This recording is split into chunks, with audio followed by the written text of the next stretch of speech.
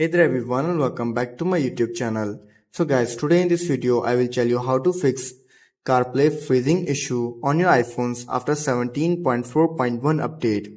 If your CarPlay is freezing on your iPhone, it can be frustrating, but there are several steps you can take to troubleshoot and potentially resolve the issue. So guys, first of all you have to do is simply update the CarPlay apps. Ensure both your iPhones and the CarPlay compatible apps are updated to the latest version. Update often include bug fixes and improvement that can uh, that could address freezing issues. After this, then you have to do is simply start your iPhone.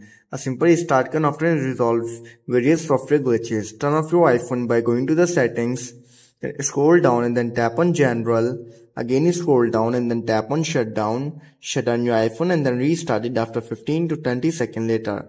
After restarting your iPhone, then you have to do is simply start your iPhone uh, car's engine. Simply switch off your switch off your car's engine and then turn it back on.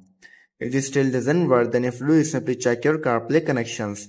Ensure that uh, then ensure your iPhone is securely connected to the CarPlay system using a certified lightning cable or wireless if your CarPlay support wireless CarPlay. Sometimes loose connections can cause freezing issues. After these steps and you're still facing the issue, then you have to do is simply check your car's manufacturer's website.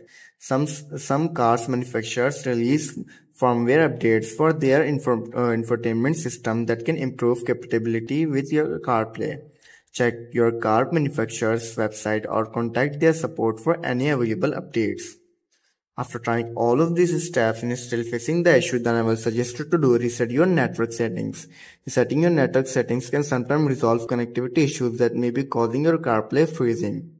To do this, you have to simply open the settings on your iPhone, then scroll down then tap on general. Again scroll down and then tap on transfer reset iPhone, tap on reset, tap on reset network settings, enter your passcode and fix your issue. So guys, these were some simple steps at how to fix iPhone CarPlay freezing issue. If this video helps you then make sure to like and subscribe my YouTube channel for upcoming videos and thanks for watching.